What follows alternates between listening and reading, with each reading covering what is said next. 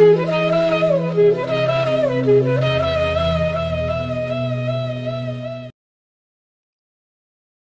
dear friends and masters and gods అహింసా పరమో ధర్మ. ధర్మం కోసం జీవించకపోతే దేనికోసం జీవిస్తావు? ఆయుష్ పెంచుకోవడం కోసం జీవిస్తావా? నూరేళ్ళు ఒక మోడు చుట్టూలా జీవిస్తావా?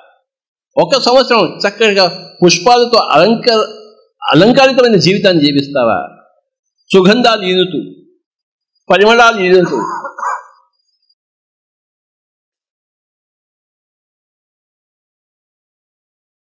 ఎవరికి ఏ కోడిని మేకని పట్టుకుని చంపే హక్కు లేదు. ఇంపాసిబుల్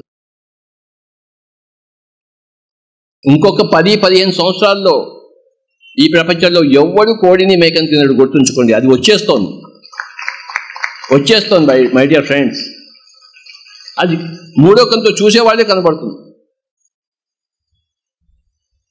మూడో కన్ను లేని వాడికి సత్యం కనబడుతుంది ఏంటి భవిష్యత్ దర్శనం అవుతుంది ఏమిటి?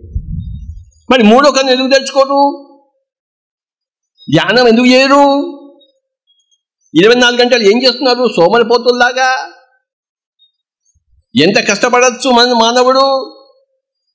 ఎన్ని గ్రంథాలు చదవచ్చు? ఎంతమందిని కలవచ్చు? ఎంతమంది దగ్గర నేర్చుకోవచ్చు? ఎన్ని పనులు చేయవచ్చు? సోమరితనము సోంబేరితనము. తమో గుణ హతులమై ఉన్నాం.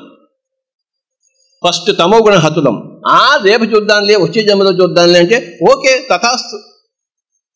మరి నోట్లో ఏదొచ్చినా తథాస్తు దేవతలు ఉంటాడు నోటిలోని మాటే నుదుటి మీది రాత నువ్వు ఏది అనుకుంటే అదే అవుతుంది. వచ్చే జన్మలో చూద్దామంటే ఓకే.